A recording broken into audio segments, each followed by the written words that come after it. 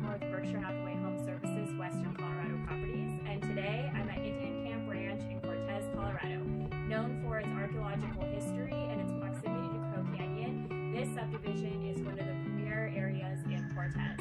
The home that I'm at today is completely sustainable. It is primarily a metal constructed home, and it is perfect for lock and leave, and it is extremely low maintenance. So let's go take a tour.